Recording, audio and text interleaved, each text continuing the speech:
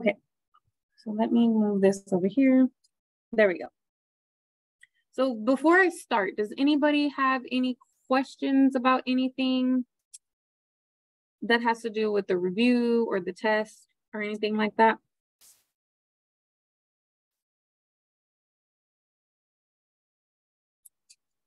Let me make sure my speaker is on.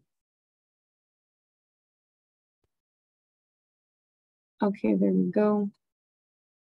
So if we I feel like, sorry.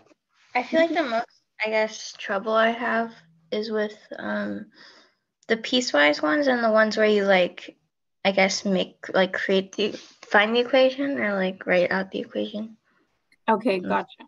So like I don't do those first then, for sure. Go ahead. I was just saying I don't really know how to do those uh, that well. okay, like, no problem, no problem. We'll talk about them for sure. But just to make sure that we talk about them in class, I'll actually cover those first. If nobody has any objection to that, that's what we'll do. Okay, so make sure that we get to those since you're you're curious about those. Um, okay, so for the piecewise, I'm gonna go ahead and do both of them. This is the one that's actually asking you to graphic, but this one's not so, so bad. Okay, so we'll start by explaining this problem. So I know it's kind of tiny on your screen, but it says um, use the piecewise defined function to find the following values for f of x. This is the piecewise defined function, and then these are all the f of x values that they're asking for, okay? So for this one, they're saying that x equals zero. Now you just need to figure out which piece are you supposed to be plugging in zero, right? Because normally if you're asking me for f of something, I have to plug in that number. But which one do we do? Now, the biggest error that I get on this problem is that people will plug the x into all three and give me three answers. There is not three answers. There is one answer for this box. And you need to make sure you're picking the correct piece to plug in the zero. Okay, so you essentially have to figure out which neighborhood does the zero live in? And then depending on which neighborhood the zero lives in, that's the piece that you're gonna plug the zero into, okay? So as far as you having a number line here, I see the numbers three and I see the number seven, okay? So this says that x is less than or equal to three. This part in here is between three and seven. And then this part over here is x is greater than or equal to seven, okay? So if you're looking at that number line, where would zero be? It would be somewhere over here, right? So if zero is in this chunk, then that's the function or the piece of the function that I must plug the zero into. So I would have four minus three times zero, which is just four minus zero, or just four. And so I get one single response for that box. Similarly, if I'm looking at the X value of one, again, where is one in this whole number line? That would be three, two, one, it would be here. It's inside that same region, which means I'm going to be using that same piece of the function. So I'm now I'm gonna plug in one for x. This time we get four minus three, which is actually one. Now the next x value, and you won't be asked for five of these things, you'll only be asked for one. but I guess to get practice, there's a whole bunch of them in here. So now four though, four would actually be over here, right? Four, five, six, and then seven. So four is actually over here somewhere. And so it's actually in this little region, okay? And that little region means I have to plug in the four into this piece. So it would be four times four, which is 16.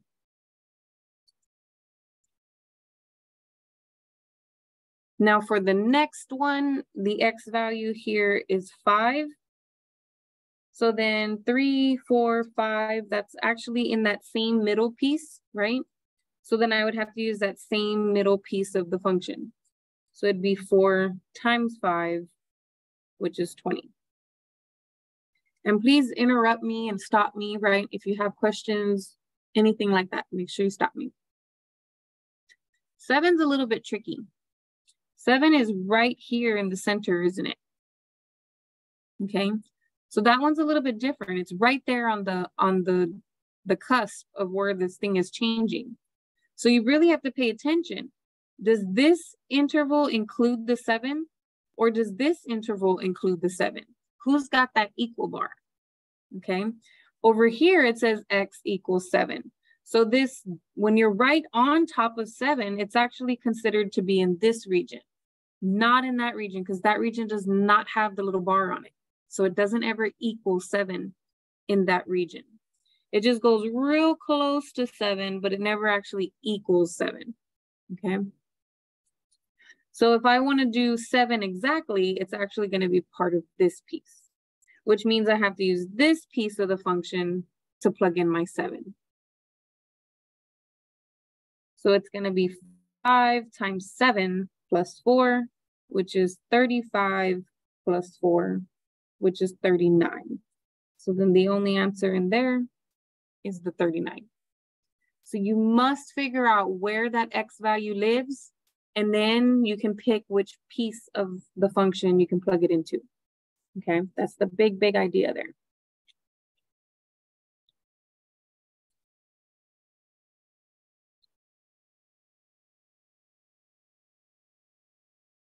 Now for the graphing one, this was the one we had a concern about. For this one, the best technique I can give you is to draw two tables because you have two pieces of your function, right? So you've got two pieces of the function. So I wanna make two tables and I'm gonna use this as the Y value for the top and then this as the Y value for the bottom, okay? And so you have two separate tables that we're gonna use. And now you the X values that you put in these tables are very important that you follow the little bounds for your X values. So here it says one, so I definitely need to plug in the one, but it says X is less, right? It looks like an L, a slanted L. So that's less than one. So I need other numbers that are less than one. Now, since this is a line and this is a line, right? There's no squares or cubes or anything crazy. Um, you only need two points to draw a line. So I'm just gonna pick one other number that's less than one, like maybe zero, okay? Then over here for the other chart, I have to use the same thing, the bottom description. Now here it says one again, so I have to use the one but it says X is greater. This one does not look like an L, so it's greater. Another X value greater than one would be like two. Now you have to figure out the points, what the points are gonna look like, okay? So since these numbers were the numbers that they identified, those numbers are gonna have special points. They're either gonna be like big giant solid dots or big giant open dots, okay? Since for the top function, it has the bar on it, this one's gonna actually have a solid dot, okay? And then for the bottom function, which is this function over here, the x has no bar on it, so it should have an open dot. All the other x values that we just came up with are just gonna be regular normal dots, okay? So I always just try to make sure that and they look like dots, but they're not like exaggerated, right? Like the big round black one or the big round uh, open one, okay? So it's not even black, it's, I should have just said solid, it's orange. But in here, they look like they're black or white, depending on whether they're closed or they're open, okay? So we just need to kind of figure out which one is ours here. So what we'll do is we'll plug in one into this, this expression here. So negative two minus one is actually gonna be negative three. Negative two minus zero is gonna be negative two. Then over here, when I plug in one into this expression, it'll be negative two plus two, which is zero. And when I plug two into this expression, it'll actually be negative two plus four because two times the two would make four, right? So negative two plus four is a positive two. And I like to draw it on my own and then just pick the one that matches. So I'm gonna go one and negative one, two, three, and put a big solid dot. Then I'm gonna go zero and negative two and put a normal dot. And it's obviously going in that direction. I tried. I just made it bigger, but it's okay. Now over here, we're gonna have one comma zero, but with a big open dot, and then two comma two with a normal regular dot. And then that one's gonna go in that direction. And so we just have to figure out which one, it looks like this one's the only one that matches, right? They all have that 0.10, or this one doesn't even have the 0.10. These do, but they're not going up. See how mine with the open dot is going up? And these two with the open dot in the right spot are going down. So it can't be those. And this one doesn't even have the open dot in the correct spot at all. So it has to be this option. Okay. On the test, the problems are all different. So some of them you'll type in an answer. Some of them is a multiple choice. And some of them just say, do this on your paper and then type in something when you're done. I don't remember what they say exactly to type in, but they say to type in something when you're done. Okay. So you will be able to do it on your paper. The graphs are usually the ones that I have you do on the paper. Okay. Just so that I can see how you graphed it. And then it's not like picking it from a choice. So it's a little bit different, this one.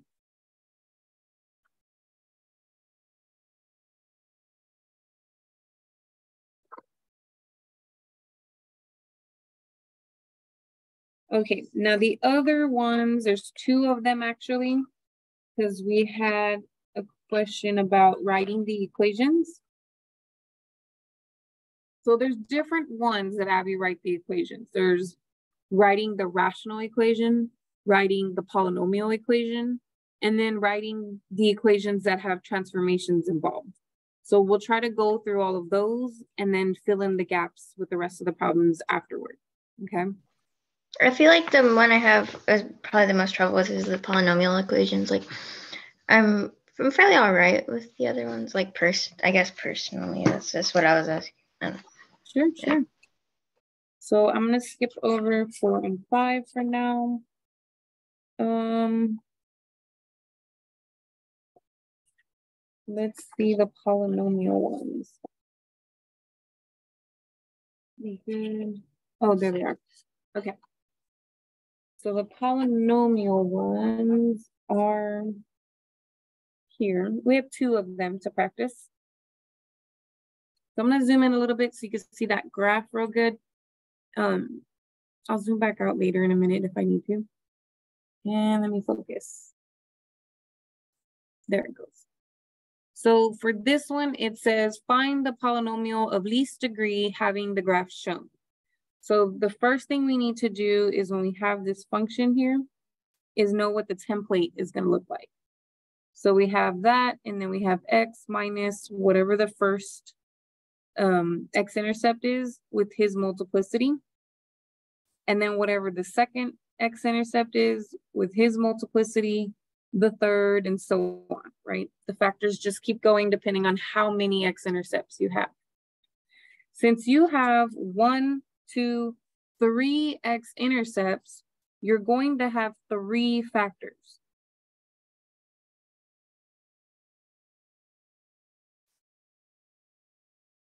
And so the first one is a negative two, but if I put another negative two, it's actually gonna make it plus two. And here, if I minus five, it looks like x minus five. And if I plug in six, it looks like x minus six. So always remember, when it's on the graph, it is what it is. But when it goes into the factors, you're always going to have the x and then the opposite sign. So notice it was negative 2, but in here, it's x plus 2. Here it was positive 5, but in the bubble or in the parentheses, it's x minus 5. And similarly for the positive 6, it's x minus 6, okay? So you have to be very careful with those. Make sure you're using the opposite um, signs. Then we have to use this point to figure out what the A is. So this is almost my answer. I'm not done yet. I haven't done the multiplicities yet. But once I do have the multiplicities in here, I will use that point to figure out the A. Once you know this A, this is the answer, and they do want it in factored form. So you don't have to multiply it all out and, and have this big long polynomial, okay? You can write it in its factored form.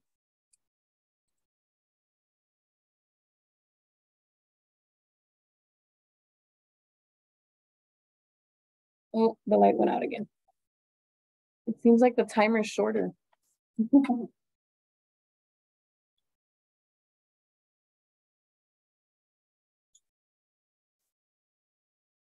okay, so for ours, the multiplicity depends on what the graph is doing.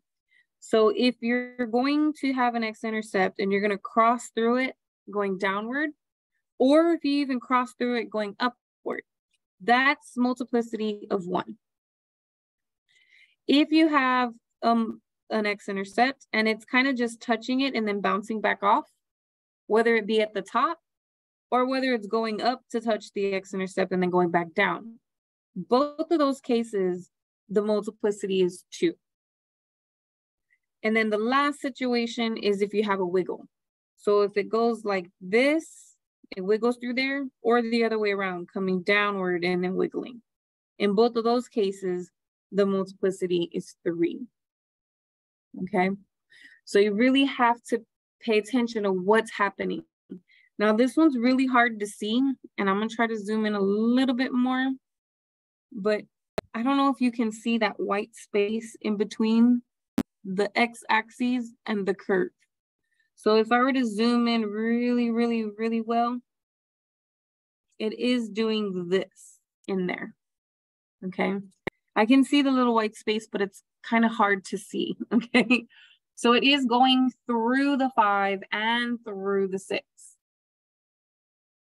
So, and it's obviously going through the negative two, right? It's just going boom, right through it. So this one's gonna have a multiplicity of one. The five is gonna have a multiplicity of one and the six is even going to have the multiplicity of one because it goes through it and then through the other one. So now I'm going to use the point, right? This is my X and this is my Y to figure out what this A value is. So I'm going to plug in 30 for Y. Remember, this is a fancy way of saying Y. So this whole thing is going to become 30 and then all my x's are going to become zeros. And I don't need to write one exponents. So I'm not writing the one exponents. So I get 2 times negative 5 times negative 6, which is actually going to be positive 60. And if I'm trying to solve for A, I'm just going to divide by that positive 60. So when I reduce this in my calculator, I actually get one half equals A. So then I know what my function is going to be. It's going to be one half and then x plus 2, and you don't have to write the 1. x minus 5, you don't have to write the 1. And x minus 6, again, you don't have to write the 1. Okay? And then this is your final um, answer. And for that one, you do have to type in your answer on the test, okay? So if you write one, you could write one over two in the front. I know what that means. Or you could even use a decimal if you really wanted to. Both of those will be fine when you type in your answer.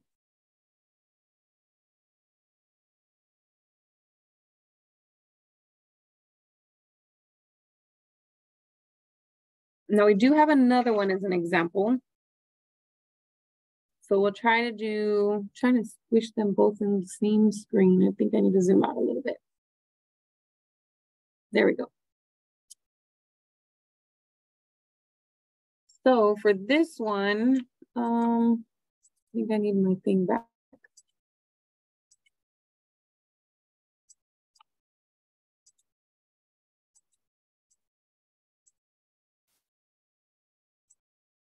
There we go. For this one, it's the same template, right? It's a polynomial function. So I know I'm gonna have this template and it's f of x equals a x minus c1, m1, x minus c2, m2, and so on and so forth, depending on how many x-intercepts I have. C is the x-intercept. And it's good to write all this stuff because you don't want to study specific problems because your polynomial is going to probably look different, right? So you want to know what's the template and where all the numbers are coming from, more so than being able to mimic an example, right? So we have our template and then we can start plugging in some numbers here. So our x-intercepts are negative five and three. So when I stick the negative five in the parentheses, it'll be x and then the opposite, plus five. When I put this one in the parentheses, it'll be x, and since it's positive three, it'll be minus three. Now we have to figure out the multiplicity. Since the graph is going right through negative five, that one will have a multiplicity of one. This one comes down and touches it and then goes right back up. It kind of looks like an x squared function right there, okay? So that's why it's got a two power. And I don't have any more uh, x-intercepts, so I don't need any more to my function. Now I just need to use that point to figure out what a is. So remember, this is the x and this is the y. This is just a fancy way of saying y, right? So that f of x part is going to become a 9, and then all the x's are going to become zeros. You don't have to write the 1, but you do have to write a square because you got to remember to square it, okay? So we get a times 5 times negative 3 squared, which is a times 5 times positive 9, which is 45. And if I'm trying to solve for a, I'm going to divide both sides by that 45. So I can get a equal, and if I simplify that in the calculator, it's 1 fifth. So then now I know my function. The a is going to be 1 fifth.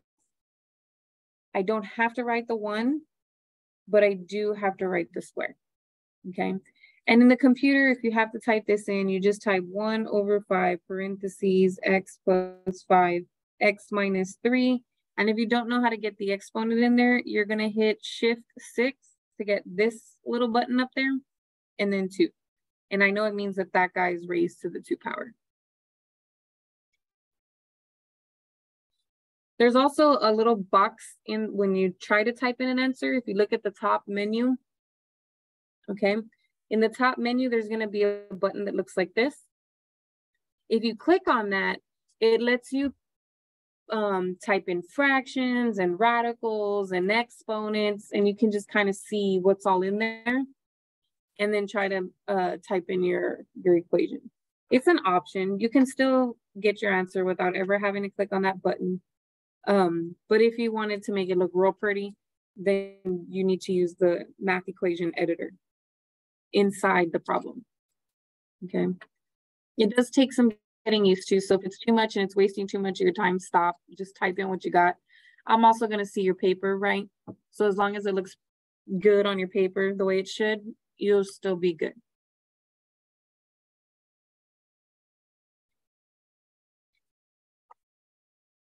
Okay, those are the only two I have for the polynomial ones. We do have some here for the rationals, but we'll wait till we build up to that because those are a little bit more involved. So let's go backtrack just a bit and get to the next um, set of problems. So these three problems are just for practice, just describing the transformations, okay? That's not what your, your review asks you to do. Your review asks you to graph them, okay? Um, which you could just create a table, plug in numbers and get it. it just, however you choose to graph that, that's fine, that's up to you. I just wanna know what happened to x cubed, okay? So in this particular example, there's two things that happen to x cubed. The first thing is that there's this negative out front. And the second thing is instead of it just being x cubed, now it's x plus nine cubed. So there's two things happening. One, we have a negative in the front, and two, we're adding something inside the basic function, okay? And so those do cause two specific transformations. When the negative is outside the power, is different than when the negative is on the inside, okay? Since my negative is on the outside, this actually reflects over the x-axis. So it basically flips the graph upside down, okay? Then the plus nine on the inside actually shifts the graph over um, nine units to the left. It's the opposite because the left is negative numbers, right? But when it's on the inside, it does the opposite. It's not over here at positive nine, it's over at negative nine, okay? Now I should be able to draw that, okay? I know that regular x cube has points like this, and then it looks kind of like a little, you know, wiggle thing like that. Well, if it's gonna flip over and then shift to the left nine, that means right here, I'm gonna have the wiggle, but instead of going up, it's actually gonna go down. And instead of going down on the left, it's actually gonna go up, okay? So you can kind of get an idea of how to graph that. This one's just the original. It's not the one they asked me to graph. But this is what I wanted. I wanted to know what transformations happened, okay? Number seven is very similar, except this time it's an x squared function, right? So we wanna know what is happening here. There's three things happening here. You have this two out in the front, you have this minus five on the inside, and then you have a minus five on the outside. Okay, so there's three things happening. When you multiply by a number bigger than one, what it does is it causes a vertical stretch by a factor of whatever that number is. So in this case, by a factor of two.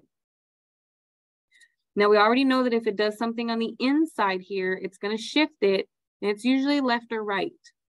Since a plus on the inside made it shift to the left, a minus on the inside should shift it to the right. So it's gonna have a shift.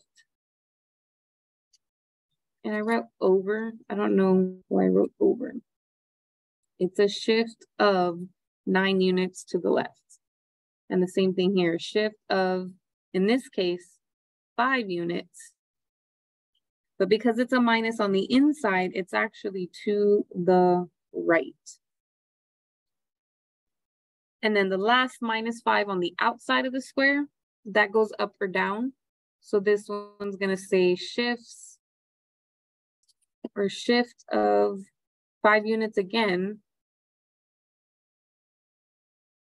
downward. If it were a plus five out here, it would go up five. But since it's a minus five, it's going downward. So the regular x squared looks like this or something like it, okay? It looks like that. But now you have a multiplier of two, which means instead of the 0.11, you have the 0.12, and instead of the 0.24, you have the 0.28. So this makes it a little bit more narrow, right? I'm trying. I can't draw. Um, then it shifts to the right five units and down five units. So going to the right five units would put the little peak there. And then going down five units means the little peak is actually here. So we're gonna go over one and two, go over one and six more, two, four, six, about right there. So it's gonna look like this. And I'm trying to do it symmetrical, but you get the idea. And these are just my like partial steps. They're not the actual graph. So that's kind of what the graph should look like. But again, you don't have to do this to graph it. You could just plug in numbers, plug in zero, one, two, three, four, see where it goes and get the picture. But on the test, this is what I'm gonna ask you for. You just type it all in, in words.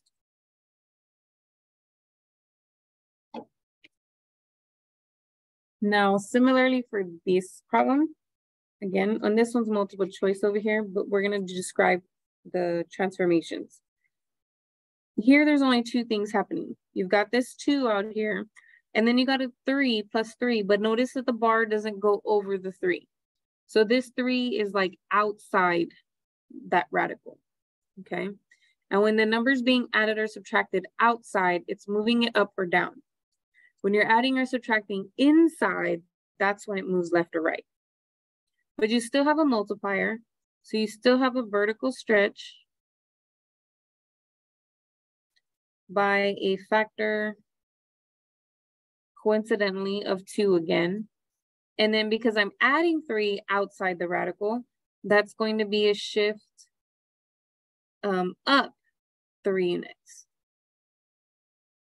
Okay, if it were minus three, then it would be going down three units. So the normal x squared is at zero, zero, and then it goes this way. So we need to have stretched it, which means it needs to be going up higher, faster. So instead of the 0.11, it would be at 1, 2. So it kind of goes like a little bit more open, right? And then it's actually shifting up one. So this little bottom part isn't down here, it's actually up at three. So it looks like the only one that's doing that is this graph here. See how that little starting point is lifted up and then it's going out pretty wide. So that's going to be our graph. So again, on the test, I'm just wanting to know what transformations happened, okay? Did it move left? Did it move right? Did it have a vertical stretch? Did it have a reflection? Okay, those kinds of things are what we're looking for on this problem.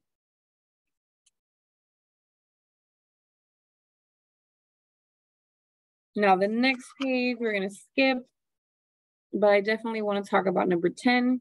This one's the one where we're writing an equation, okay? But using the transformations. So we know that the absolute value of x should actually look like this and it should have the point one, one, and it should have the point two, two, so on and so forth. This would have negative one, one, and negative two, two. And then they're asking you basically what happened to it, okay? And um, what is the new equation? What is this guy's equation? So the first thing I like to do is to identify if a vertical stretch occurred, okay? If I'm gonna have to multiply by a number outside and as far as these are concerned, it's not an x squared graph. It's an absolute value graph. Okay, the squared one looks like that. This is not an x squared or square root function. So in order for me to decide whether or not it had a vertical stretch, is I basically need to see if this goes up one, one, one, and one, if it goes in that pattern. And if you notice, here's the point at um, negative one and six. If you notice, if you go down and over, you do get to another point. If you go down and over one, you get to another point. So there's no vertical stretch going on, okay? So no vertical stretch, um, but it is flipped over, isn't it? It's supposed to be going upward like this, and it's flipped downward. So we do have a reflection. It's reflected across the x axis. That's what makes it flip downward, is when you flip over the x-axis.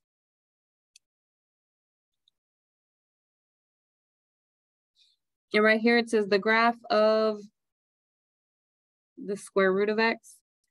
is translated how many units, it tells you it's left, but remember it's supposed to be here at zero, zero, and it did go to the left once, right? That little peak is scooted over one unit to the left, but it's also scooted one, two, three, four, five, six units up. Okay, so they kind of already told us what direction, we just needed to tell them what, how many. But this is the big part, is how do we write that in an equation, okay? We know that if we reflect across the x-axis, then we're going to have a negative in the front of the absolute value. And since there was no vertical translation, we don't have minus and then a number. It's just minus. But you did have some left or right movement. You actually had one unit to the left. Now, when it goes to the left, you actually put a plus inside the bars. So it will be plus one inside the bars. Then we translated six units up. Up and down translations happen outside the basic function. So the so the six will be outside the, the bars. And because it's up, it's actually going to be plus six outside. Okay.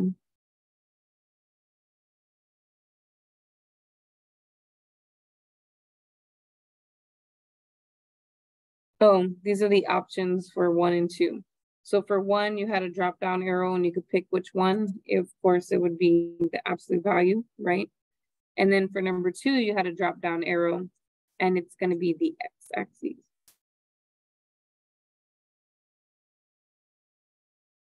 And in there, I mean, I didn't put it in the box, but this is what would be in the box.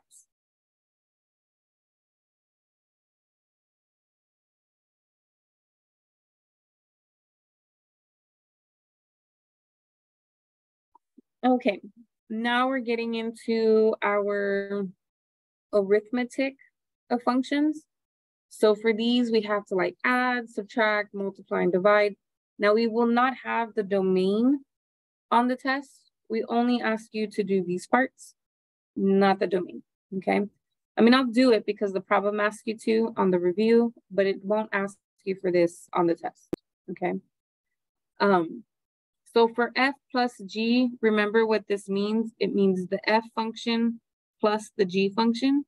So I'm literally taking 5x plus 2, that whole function, and adding the entire second function. And then I can decide whether or not I need those parentheses. Since there's no number to distribute and no power to, to apply, this does not need parentheses. Now here I don't have a power to apply, but I really do have something to distribute. It's just if you distribute a positive one, nothing changes. 4x is still positive 4x and minus 5 is still negative 5. Okay. You just make sure you combine your like terms. So we get 9x minus 3.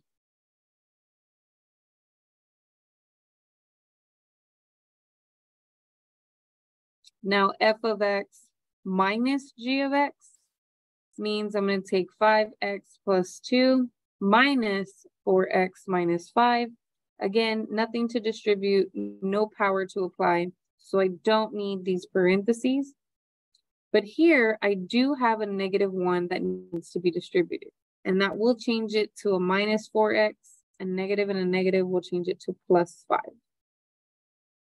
And if I combine my like terms now, I get a single x plus 7.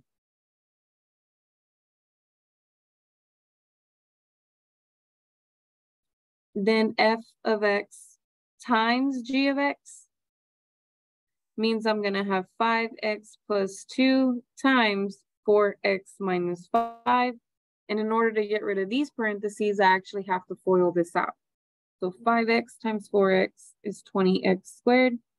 5x times negative 5 negative 25x, 2 times 4x, positive 8x, and 2 times negative 5 is negative 10. I can combine my like terms.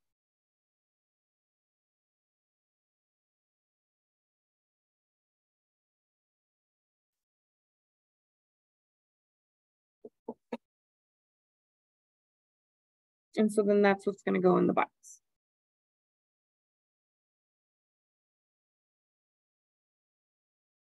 And then the last one is to do f of x over g of x.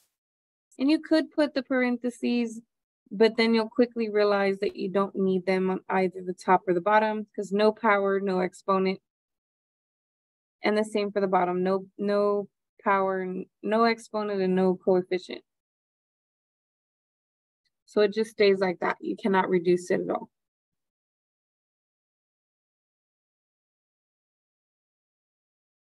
Now the domains for these are all going to be negative infinity to infinity.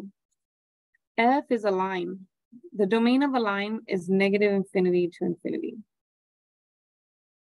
This G is also a line. So the domain of G is going to be negative infinity to infinity. So when you're doing the domain intersect with the domain of G, what do the two sets have in common? Well, they're the same exact set. So they have everything in common the whole way from negative infinity to positive infinity. So that's actually going to be your answer for the first three.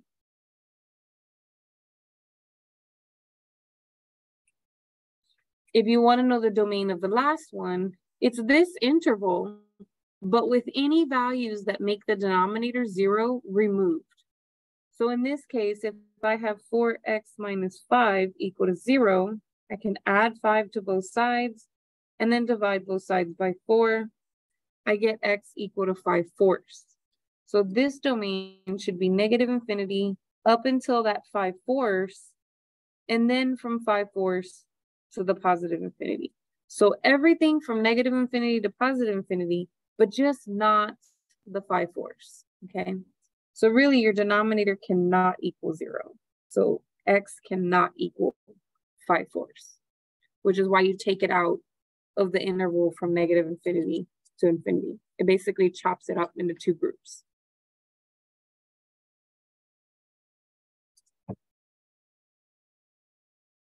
Similarly, the same thing is going to happen here. This is a polynomial, it's a quadratic, which has a domain of negative infinity to infinity. This one's also a quadratic or a polynomial, so it also has domain negative infinity to infinity. So these will all be negative infinity to infinity. And then all you have to do on this one is take out the one number that, or two numbers maybe, that make your denominator zero. So we'll talk about that one when we get down there. But for the plus, So you have 5x squared minus 2x plus x squared minus x plus 3 there's really no need. If you distribute a positive one, everything in that second parentheses will stay the same. And then combine your like terms. We get 6x squared minus 3x plus 3. Then for the subtraction,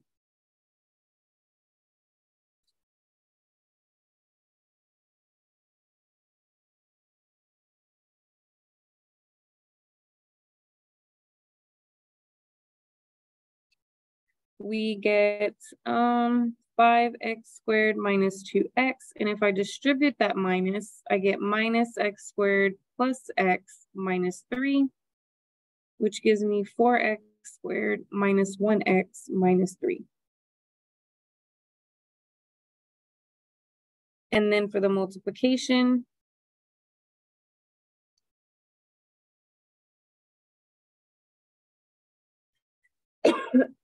excuse me. I'm going to rewrite this so that I can multiply it out. So I'm going to take that first one and distribute it to the second parentheses. Then I'm going to take the second term and distribute it to the second parentheses. Excuse me. I wish I brought my water in here, but I didn't. It's okay.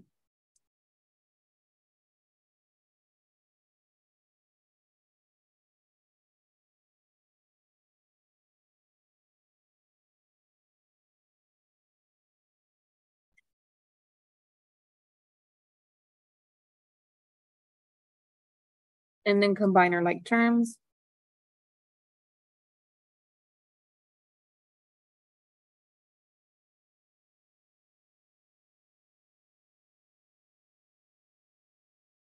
And that's what we get for the multiplying part. Excuse me. And then for the division part, we just get the top function over the bottom function. And the parentheses will go away. So just writing it, writing it out. Um, now for the domain of this last one, you have to figure out where this thing equals zero because your denominator cannot equal zero. But I don't think that this actually equals zero. I can't factor that, so I'm gonna use my quadratic formula. Negative b plus or minus b squared minus four times a times c all over two a. Now this in here is gonna be a negative 11, which is imaginary. Okay, this right here is imaginary which means there's never going to be a real number, right, on the number line that makes that denominator zero. So essentially, there's nothing to omit from the negative infinity to infinity because that bottom thing will never, ever, ever equal zero, ever. So the domain of this one happens to also be negative infinity to infinity because I didn't get any real number answers here to remove from the negative infinity to infinity. So there's nothing to remove, then negative infinity to infinity is just the answer. Sounds a little weird. Let me see how we're doing on time. Okay, we have 12 minutes. This one's good. Let me zoom in so you could see. So again, it really does need us to know how to rewrite this. So make sure you know how to rewrite that. And then if the x is 2, what is the y value for the f function? The curvy one is the f function. So when x is 2, that y value is 4. When x is 2, what is the value of the g function? Well, the line is the g function. So when x is 2, the y value is 1. So you should get 5 for that top one. Now here, it's f of negative 1 minus g of negative 1. So when x is negative 1, f is actually positive 1. And when x is negative 1, g is actually 4. So we get negative 3 in the end. Now this means f of 0 times g of 0. So here's zero, f of zero is just zero. And then g of zero is three. So we still get zero. Zero times three is still zero. This one is f of negative one over g of negative one. And f of negative one, I feel like we already did the negative one. Yeah, f of negative one was one and g of negative one was four and that does not reduce. So the answer is just one fourth there. Similarly with the chart, it does the same thing, except you already know what the Y values are. You don't need to go look for them in the, in the graph. They're already there in a table. So if I'm doing F plus G of three, I'm gonna look for x equal to three, and I'm gonna take the f and the g, and I'm gonna add them together. So in this case, I would get, uh, what is that, seven? Here I'm looking at the x value six, and I'm looking at the f and the g value, and there I'm going to subtract them. So the f value minus the g value would give me positive seven. Here, we're looking at the x value negative three, so we're gonna take this F and this G and we're gonna multiply them together. Well, zero times five is just zero. And then here, we're going to take, when X is zero, the F over the G. Well, that would be three over zero, but this is undefined. Okay, so that one's a little weird. You can't really do that one. You would have to say it's undefined. Okay. If it wasn't, if it was like three and then one, you would just do three over one, which is three, and type it in the box. But since it's three over zero, that is undefined. Okay, mm, got about nine minutes left. So let's see if we can get to this one. So here it has two functions and it's asking me to find h of f of six. So remember the little method we talked about. You plug the six into f first, and then that answer will get plugged into h, okay? So I'm gonna first figure out what f of six is by plugging in six into the f function. I get negative 24 minus one, which is negative 25 then that whole entire negative 25 is going to get plugged into h. This is my h function.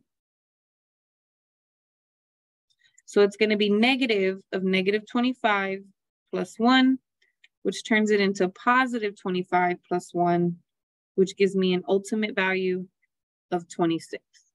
Okay, so you plug this into the first one that's next to it, and then the answer gets plugged into the one that's far away. Okay. We also need to know how to do this with a table. Okay. So here they're asking me to do this. So this is the X value and I need to plug it into the G. So this is the G box. So when my X is 10, the Y value that I get is eight. So then now what I need to do is I need to figure out F of eight. So I go look for where X is equal to eight and its Y value is actually this 11. So the final stopping point is the 11. And that's the actual answer is 11. So once you get the first guy's uh, Y value, you use that as an X value to find the other guy.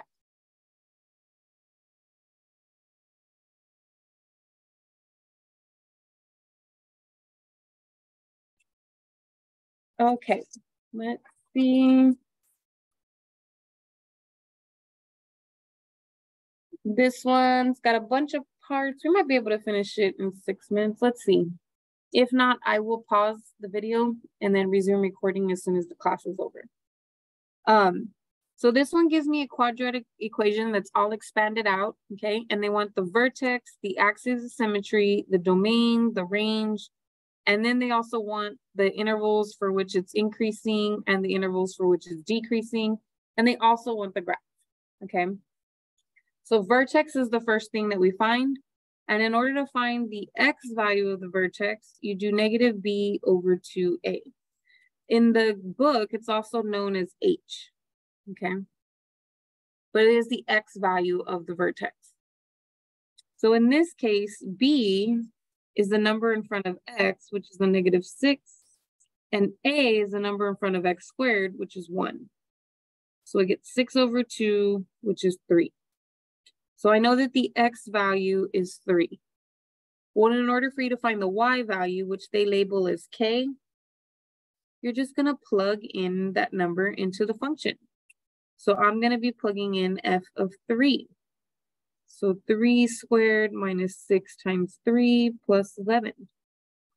That's 9 minus 18 plus 11. Negative 9 plus 11, I got 2. So that is my vertex. The axis of symmetry is always x equal to whatever you got for your, the x value you got for your vertex. So since I got 3 for my x value, this should be x equal to 3 not three by itself. It's a whole equation. Notice it says type an equation. So it must say x equals that three. The domain of any polynomial is always negative infinity to infinity. And here, if you notice that the a in the front is equal to one, right? That's positive, which means it will open upward. And since it opens upward, the range should be from this y value up to positive infinity. And I know what the y value of that vertex is, it's two. So this should be from two all the way to positive infinity. Now, the intervals for which it's increasing or decreasing, well, it's actually, de if it's opening upward, it's decreasing until it gets to that x value of the vertex. And then it's increasing from the vertex x value to positive infinity. So for this interval, it's, which one is this one? This one is increasing, which is the right side, right? This side. So it's from um, the 3x value to positive infinity, which is all the way to the right, all the way to the right. And then it's decreasing over here on the left side, which is all the way to the left, negative infinity, up to this x value of 3. So this would be from negative infinity to 3. And that should be enough for me to graph it. So if I go 3 and 2, we got that there. If you want another point, just plug in 4, right? So 4 squared is 16. 6 times 4 is 24 plus 11. That's going to be what? Negative 8 plus 11, which is 3. So then you got this point here, and then due to symmetry, you'll have another one over there. And so you have your little image there. And I think we still have two minutes left. I don't think two minutes is gonna be enough to cover these word problems, so I will do these in the video later. But real quick, we can do these in like two seconds. These two right here. So remember the end behavior. If you have a positive x to the odd, it looks like this. If you have a negative x to the odd, it goes in the other direction. If you have a positive x to the even, they both go up. And if you have a negative x to the even, they both go down. This one is a multiple choice problem. So if you're looking at the polynomial, you're going to circle a term that has the highest exponent. In this case, it's that term. Notice it has a negative in the front and an odd exponent. So it's a negative x to the odd, which means it should have this end behavior, which is actually a. If I'm looking at that one, it's not in the correct order, but you should be concentrating on the guy with the highest exponent, which happens to be this term. It is a negative number in front and an even exponent. So that's this situation, which means both of the ends should be going down. Okay. So you're always looking at the term with the highest exponent to decide which one of these cases you have. Okay. And it doesn't matter what number's in front, all that matters is the sign. And it doesn't matter what number is up here, all that matters is if it's odd or even. We don't care if it's 10 versus 2, none of that matters, just if it's odd or even. Okay, I'm gonna stop here. I'm already running out of time. Um, I'm going to pause the video for now, but then I will resume once we're all finished. Um, let me pause it. Okay, we're gonna finish up with number 27. So here, remember what's in the parentheses. Whenever you have x squared, it can, or any just x, it can be rewritten as x minus zero. And when you don't have a multiplicity up there, it is understood to be one. This one had a square, so it should have a square. And then x plus three squared. So you can rewrite it like that so that you get all of the bits of information that you need in order to graph it, okay? Um, now notice that the coefficient in the front is a one. So A equals one, which means it's positive, right? And if I add up all these exponents together, two, one, and two, I'm gonna get x to the fifth power, which is odd, okay? So this is really gonna follow the end behavior as x, a positive x to the odd, which according to up there, it will look like going downward on one end and upward on the other. So just by looking at my um, ending in behavior, you can kind of already outrule this option and this option just because of the end behavior, right? Those were going up on the left and not down on the left, okay? So, but on the test, you do have to graph it yourself. So being able to decipher or choose the best option is not the strategy you want to take on the test. You really want to actually be able to graph this by yourself, okay? So what we're going to do is we're going to identify the zeros or x-intercepts, right? It's the same thing with their multiplicities. So if we look at that, remember when we take this out of the parentheses, it turns the opposite sign. So that's just zero. And it has multiplicity of two because the exponent is two. Then the next zero we get, when we take this out, it's gonna turn to positive three, but it has a multiplicity of one. And then the last one, when I take the three out of there, it's gonna turn to negative three, but that one has a multiplicity of two. And I can't fit it in there, so let me write it underneath. M equal to two. So what this means, if you have an even multiplicity, if it's two, that means it's going to touch um, x equal to zero. If you have m equal to one, that means it's gonna cross at x equal to three. And then for the negative three, you have a multiplicity at two, so it's going to touch at the x equals negative three, okay? So you basically have a graph and you have the intercept zero, negative three, and positive three. You know what the end behavior is gonna look like. It's gonna go down and up, okay? But we know that through negative three, we're only touching it. So it'll go back down at some point, okay? Then through zero, it's going to touch it. So you, at some point, you have to come back up and then just touch it and go back down. But then at um, x equal to positive three, it says it's going to cross through it. So it'll come back up, but then it'll just go right through there. Okay. And so you have to find the one that kind of matches this. Now, if you notice, this one has two humps at the bottom and this one has two humps at the top. My picture doesn't have humps at the top, so it's definitely not this one. It has to be this one.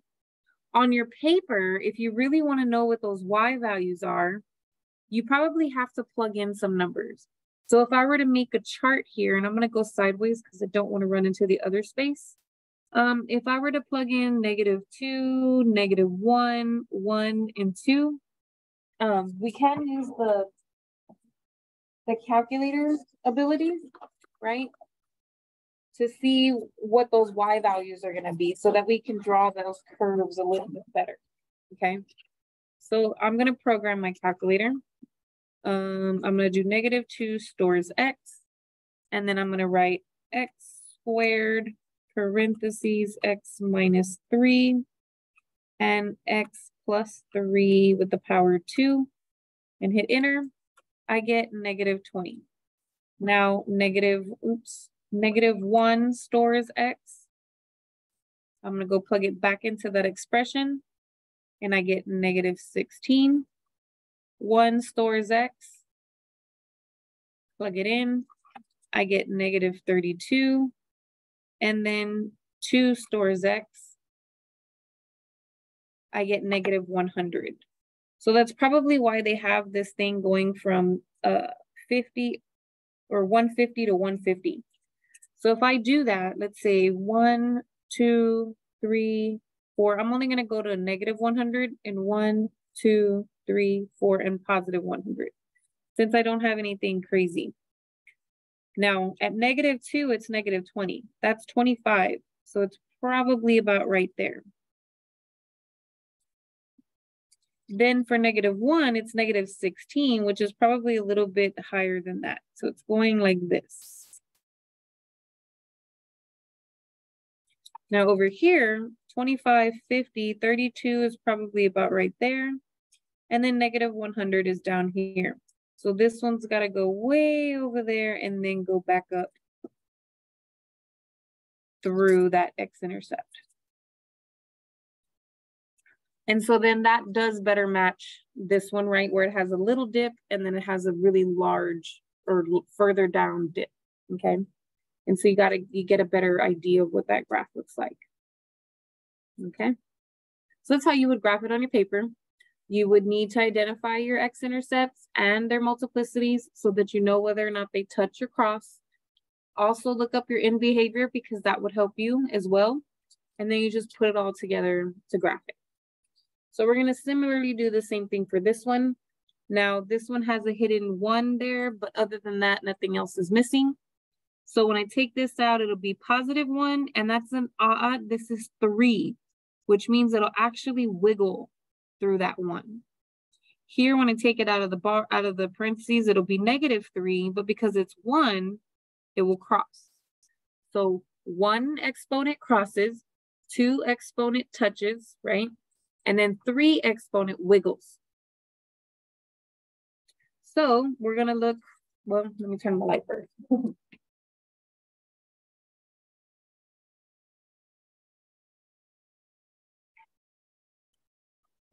So we're gonna look and see what the end behavior would look like too. Again, we have a positive coefficient. If I add those together, I would get four, which is an even.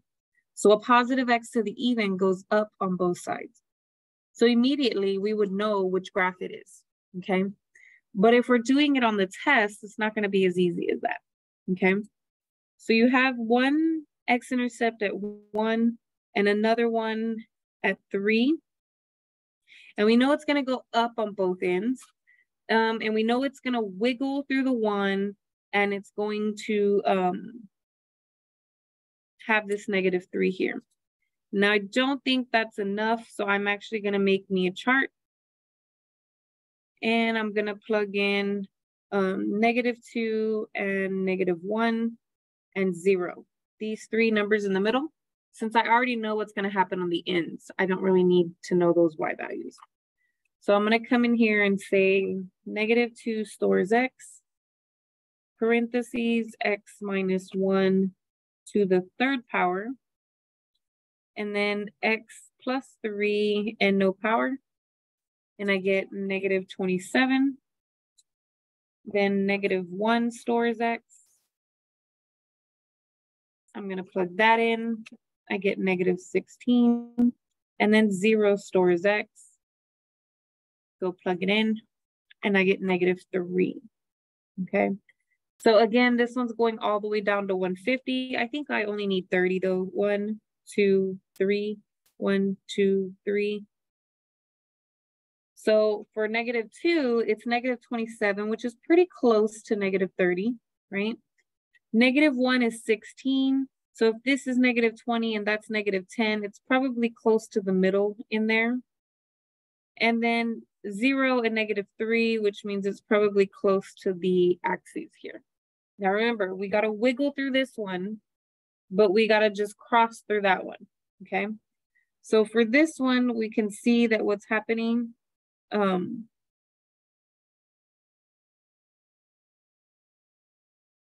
It's kind of doing this thing. I can't really draw it.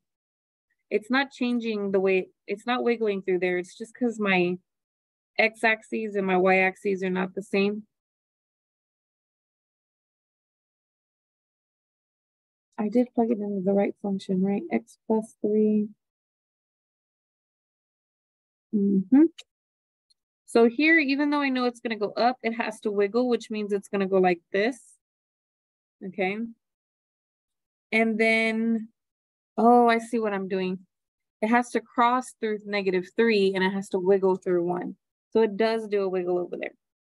So it crosses through here, gets to this little guy, then it does this, and then see how it's going, it's going like that, and then it wiggles upward, okay? So it does kind of look like that. Mine just looks a little bit weirder.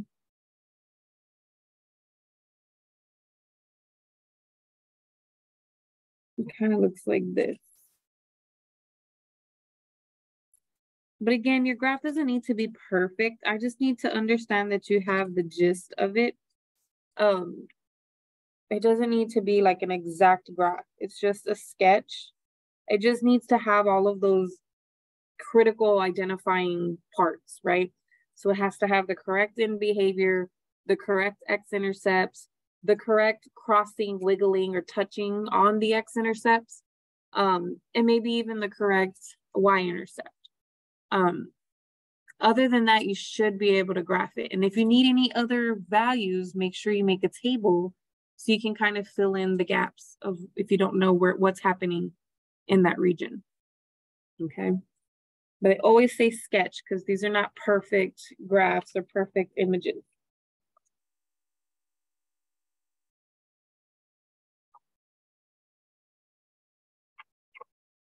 And I totally skipped over this problem. So I'm gonna do this problem first before we keep going. Uh, these are the word problems. And so in the first one, it says, if an object is projected upward from the ground level with an initial velocity of 32 feet per second, then its height in feet after t seconds is given by this equation here. Find the number of seconds it will take to reach the maximum height. What is the maximum height? Remember, T is in seconds and H is in the height, okay? Or S is actually the height. So um, if I wanna know the T, well, remember, this is kind of like acting like the Y and T is kind of acting like X. So when you're trying to find the maximum or minimums, you're trying to find that vertex, right? This is a parabola and I want to find that vertex. And because the front is negative, it's actually a downward parabola, which makes sense of why there's a maximum. But how do I find the x value of the maximum? That would be the h, right? And I don't want to use h or x because x is not in this problem and h could get confused with height, okay? But h is actually um, time, okay? That's the variable that's acting like x is t for time. So when I do that, I'm going to do the negative b over 2a. And in this case, b is 32 and a is negative 16. So I get negative 32 over negative 32, which is actually a positive one. So the object will take just one second to reach its maximum height. Now, what is the maximum height? You have to find the y value. So I'm basically plugging in one for t.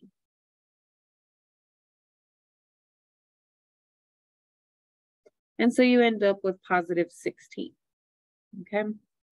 Now for the next example, it says the total amount spent by some number of people on clothing and footwear in the years 20, I'm sorry, 2000 and 2009 can be modeled by the quadratic function and they give me my whole quadratic function where x equals zero represents January 2000, x equal to one represents January 1, 2001, and so on f of x is in billions of dollars.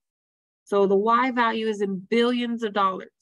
According to the model, in what year during this period was the amount spent on clothing and footwear in maximum? So again, you have a parabola, but downward. So it makes sense they're asking you for a maximum. So we do have x here. So x is negative b over 2a. b is the number in front of x and a is the number in front of uh, x squared. And I don't know what that is, so I'm just going to type that in here. Negative parentheses 71.44 over 2 times negative 4.193. And we get this value. And it says round the final answer for the amount spent on the nearest whole number is needed round all intermediate values um, to the nearest tenth as needed. So I got 8.5 something. Okay, now remember that x equal to one represents January 1st. So this eight or January 1st of 2000 is x equal to zero. x equal to one is January 1st, 2001.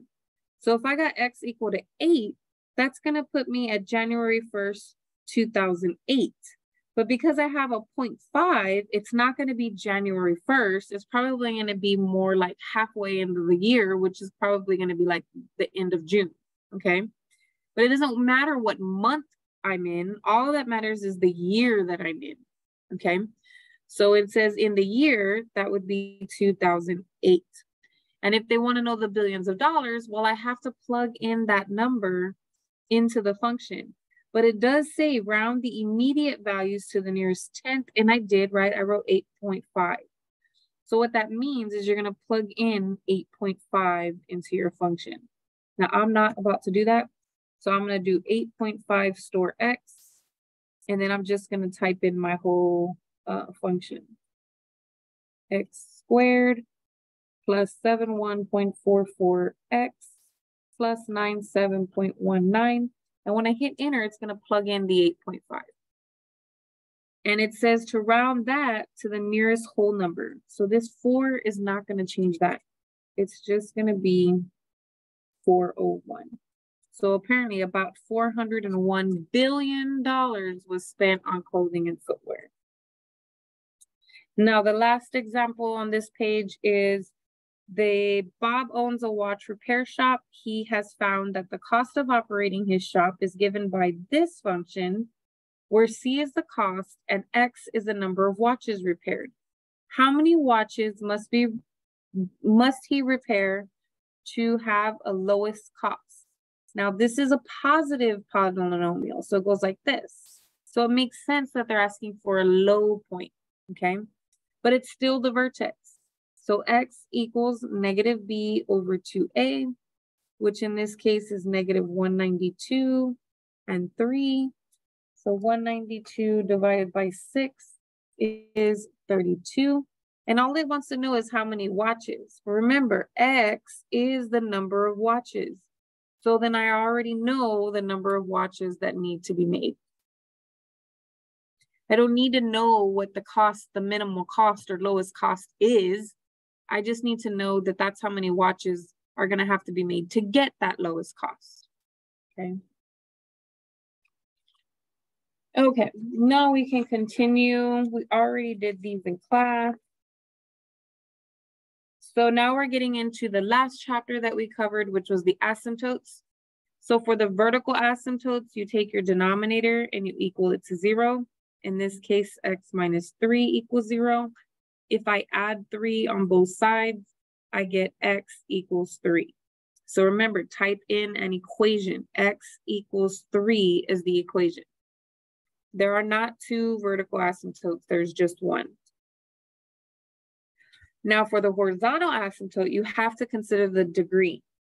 So the degree of the numerator is actually zero because there's no x's in the numerator. The degree of the denominator is one because I do have x's in the denominator and the highest exponent is one, the little invisible one, okay? Now here, that means that the degree of my numerator is actually less than the degree of my denominator. When your numerator's degree is smaller than the denominator's degree, you automatically have a horizontal asymptote at y equal to zero. We never have oblique asymptotes. And since you do have a horizontal asymptote, you can't say you don't have neither, okay? Now for this problem, same thing for the vertical asymptote. We take our denominator and we equal it to zero. So 4x plus 2 equal to 0. If I minus 2 on both sides, I get 4x equals to negative 2. If I divide by 4 on both sides, I get x equals negative 1 half once I reduce that in my calculator. And so then for my vertical asymptote, I do get negative 1 half. Um, now for the horizontal asymptote, the degree of our numerator, this time we do have x and the exponent is one. And in the denominator, I do have x, and again, the exponent is one. Now, when the degree of the numerator equals the degree of the denominator, we have the horizontal asymptote at y equals the leading coefficient of the numerator over the leading coefficient of the denominator. So remember, we were looking at the guy with the degree one, which means we were looking at this term and this term to decide what the degree was. Well, what is the coefficient of those two terms? For the top, the coefficient is negative two. For the denominator, the coefficient is four, which reduces down to negative one half. So it just so happens that our horizontal asymptote is also negative one half. Okay, and there are no oblique asymptotes in this chapter for us. So just keep saying there's no oblique asymptote.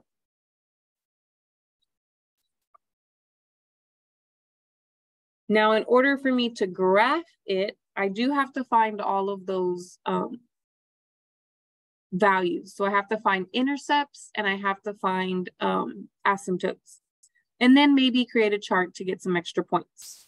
So the first thing we're gonna do is we're gonna try to find the y-intercept. And to do that, we just plug in zero for x. And I get negative two over seven, which is about, because I am gonna have to draw this. Is about negative 0.3, okay? Then I need to find the x-intercepts. That you take by taking the numerator equal to zero. So x minus two equal to zero, which means x equals two. So I have an x-intercept of two. And I'm gonna actually draw it over here instead of picking a graph. So I have one, two, there's my x-intercept, and my y-intercept, one, two, three, negative 0.3 is probably about right there. So those are my two intercepts. Then I need to do my vertical asymptote. So I'm gonna take my denominator and equal it to zero. I get x equals negative seven. So one, two, three, four, five, six, seven. And I have a dotted line here. So right away, I can tell that this one's wrong because this asymptote is on the wrong side. And this one, the asymptote is on the wrong side. So it could be one of these two as far in the computer. But for me, I'm gonna have to actually graph this thing. Um, and then our horizontal asymptote, um, notice that we have exponent one, exponent one. So it's gonna be at y equals the number in front of this x and the number in front of that x. So one over one, which is just one. So then that means I'm gonna have a dotted line going in this direction. Okay. And it does keep going further and further, even past the vertical asymptote. Now, the thing is, is that I can tell what's happening over here because we know that this has to trail off close to there.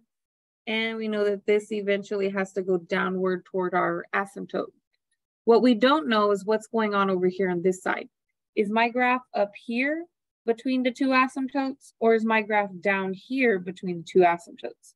We won't know unless we create a chart and we plug in some numbers past this negative seven vertical asymptote. So if I plug in negative eight, if I plug in negative eight, I'm gonna get negative 10 over negative one, which is 10, which means I do have a point way up there.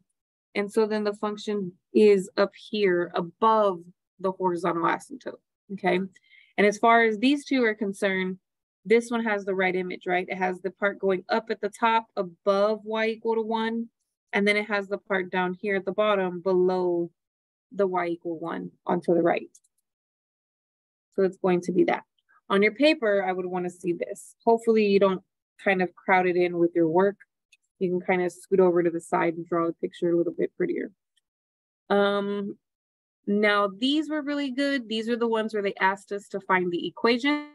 So we have to remember that your vertical asymptotes are going to give you your denominators, denominator factors.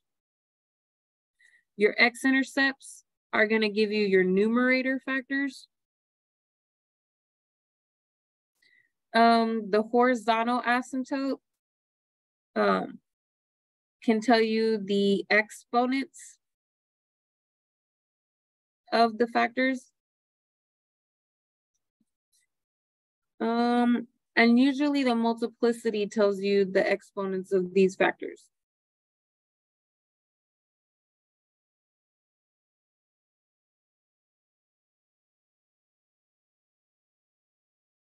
So since you already know the numerator's factors, the horizontal asymptote actually tells you the exponents of the denominator's factors.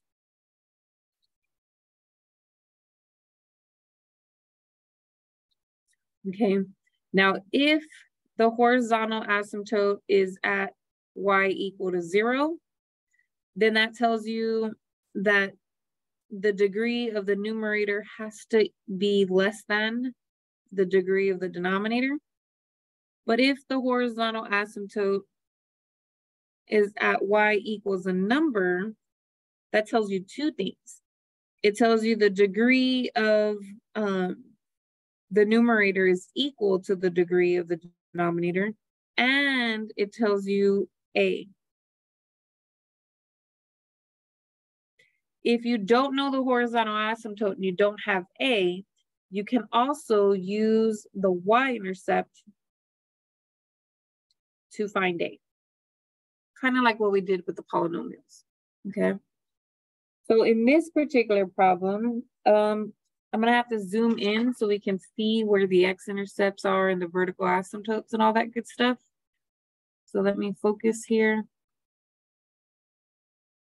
So I can see this is the origin here, and we do have a point there at the origin. Um, and then it looks like it's going one, two, and then three, four. And then the top is going one, two, three, four. So they're also going by units of one. So it looks like the horizontal asymptote is at y equals one. Um, and it looks like our vertical asymptote, this one here, is at x equals one. And it looks like we have x-intercepts of zero and one. Now notice that the graph crosses through each of them. So the m is equal to one for both of those x-intercepts, okay? So if I put this information together, okay? If I put the information together, this is what I'm gonna come up with. I'm gonna have um, y equals x minus zero, x minus one, both with like a one exponent, right? At the bottom, I only have one vertical asymptote, which means x minus that value one. Now, the y um, horizontal asymptote, it's actually a number, it's one, it's not zero, right? Which means the degree of the numerator and the degree of the denominator should be exactly the same. Well, notice I have one and one, which is two, but downstairs I don't have a power of two, but I know I should. So we have to make this a power of two. Not only that is that it tells me what A is. Since I have that number, I know that A in the front would have to be a one. And then I can clean this up. It doesn't have to look so messy. Um, it looks like they want us to write f of x instead of y. You don't have to write this one. You don't have to write that one. You don't even have to write the zero. You could just write x. And then x minus one. You don't have to write that one exponent. And then x minus one squared. Oh, and I'm sorry, that x-intercept was not at one. It was at two which means this numerator factor should be two. And I, was kind of looking at it and I'm like, well, why wouldn't they cancel? Because that's the wrong number. so it helped me catch that there was an error there. Remember, x-intercepts give you the numerator factors and the multiplicity tells you what the exponents are on those factors. Um, and then the horizontal asymptote is what gives you the power in the denominator and it could also give you A. Now let's see if we apply that same thing here. So we do have x-intercepts at zero and four, zero and four, and they go through each of them. So this has a multiplicity of one, this one has a multiplicity of one. We have a vertical asymptote at x equals if this is two, that looks like it might be three. And we have a horizontal asymptote at y equals one. So let's put it together.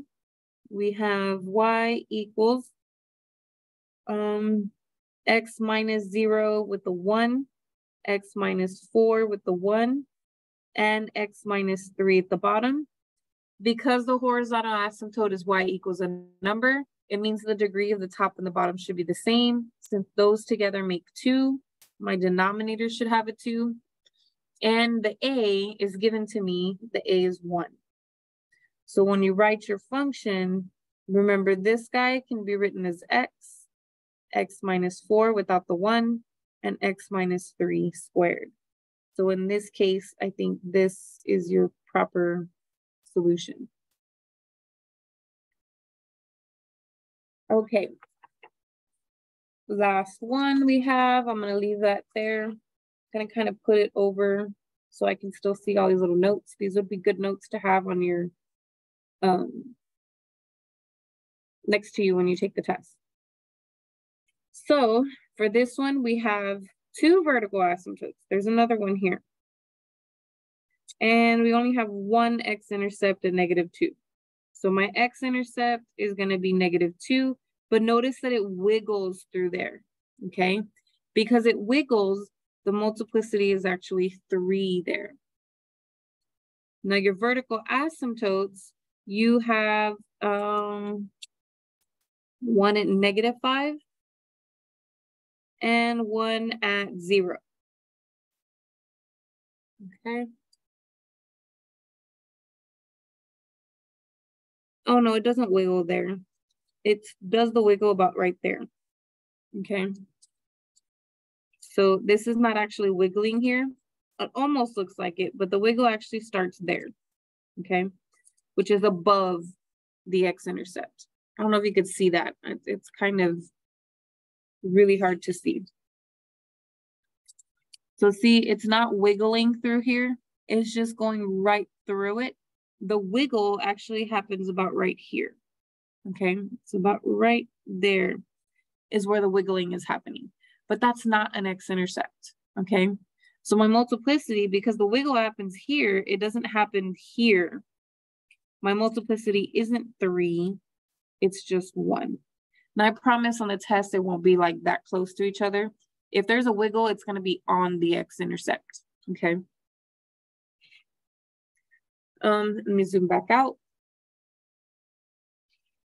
So we can resume. So we've got the y x-intercepts, we've got the vertical asymptotes. The horizontal asymptote happens to be the y-axis, which is y equal to zero. So that tells me that the degree of the numerator is less than the degree of the denominator. So if I put this together, um, I'm gonna have x, now instead of a minus two, it's gonna be plus two with the power of one, and then x plus five, and x minus zero. And according to this, I should have a higher exponent at the bottom which makes sense because when I do x times x, I'm going to get x squared, whereas the top only has a degree of 1. Okay, so what we end up with is x plus 2, and then instead of writing x minus 0, you could just write x, and you could also write it in the front. So I think out of all these options, this one is the one that you want to choose. Okay. And we didn't have an A value, but if you really were curious, if you were to be like, well, hey, I don't know if there's an a multiplied by x plus 2, you could figure it out. You could pick a point that you know that there's a value for it. So I don't even see a point in here where I would know the value for it. So they probably don't want the A, okay? But for the test, if there's another point that's like, hey, the coordinates of the point are this, this and this, then you can plug that y value in here, plug that x value for all the x's, and you could figure out what a is. But I highly doubt that it's that complicated. I think um, for the most part, you can just forget about the a because there's not going to be a defined point. But this is the end of what I had selected for you guys to concentrate on for the test. So if you have any questions about the other problems in the review that we did not get to, um, make sure that you ask. And if you want me to elaborate or explain better or in a different way, um, some of the problems that I did in this video, um, just let me know and I can do that as well. Okay. So just let me know what you need and I will help you. Okay. But you guys have a good one and I wish you the best of luck on test two. Bye.